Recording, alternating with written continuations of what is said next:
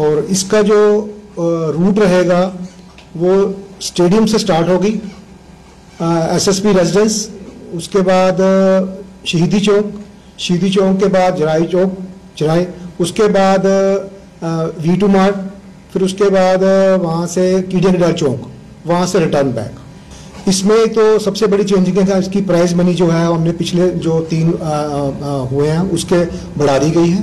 पहले जो इसमें प्राइज मनी थी वो फ़र्स्ट वाले को हम दस हज़ार और सेकंड वाले को सात और थर्ड वाले को हम पाँच देते पाँच हज़ार देते थे।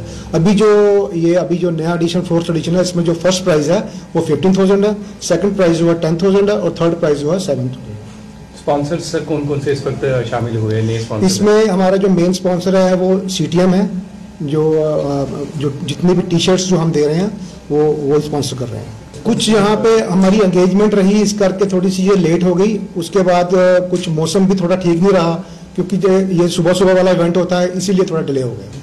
देखो तो हमारा जो मकसद है इस मैराथन को कराने का, उसका मकसद यही है कि हम युवा को जो है, वो इंकरेज कर सके, ताकि वो स्पोर्ट्स में ज़्यादा से ज़्यादा हिस्सा लें।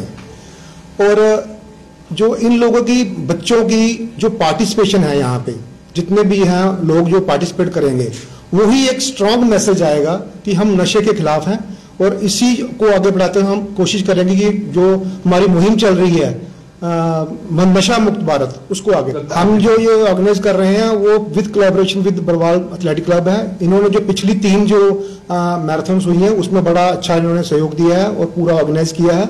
इस बार भी ये पूरा ऑर्गेनाइज कर रहे हैं, हमारे साथ मिलकर कर रहे हैं।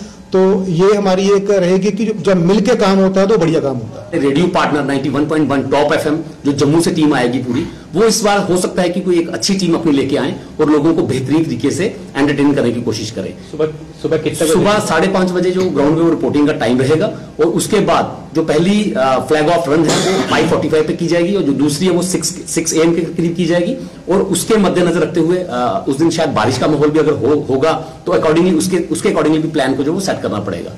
तो लिहाजा सभी मीडिया बंधुओं से ये गुजारिश रहेगी कि जिस दिन डिस्ट्रीब्यूशन ऑफ़ टी शर्ट्स होगा, उस दिन भी आप इस इवेंट को कवर करें, क्योंकि मैक्सिमम से मैक्सिमम युवा वहाँ पे आए। और ये बात एक मैसेज क्लियर कर दे दें कि फ्राइडे शाम के पाँच बजे तक साढ़े चार से पाँच बजे तक जो है वो रजिस्ट्रेशन क्लोज हो जाएगी। और सैटरडे सुबह दस बजे से लेकर शाम चार बजे तक जो टी शर्ट्स हैं, उनका डिस्ट्रीब्यूशन होगा।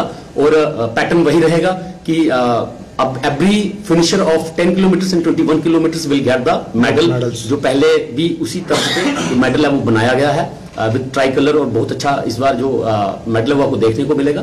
तो लिहाजा ये एक ओपन मैराथन है एक अच्छा मैसेज भी है कि anyone can participate not even की एथलीट कि मैराथन में होता है कि सिर्फ़ वही एथलीट भागते हैं। कई लोगों को ये संचेत, या शक रहता है कि मैराथन है, हम परफेक्ट नहीं, हम भाग नहीं सकते। तो ये एक बहुत ही उम्दा आइडिया है पुलिस का जो पुलिसिंग करते हैं। आज की डेट में सफ़र पुलिसिंग कठोर हो रही है कि इसको एक ओपन मैराथन रखा गया है कि एनीवन कैन पार्टिसिपेट और अपने आप को वो प्रूफ करके बताया कि मैं समाज के लिए कुछ करना चाहता हूँ।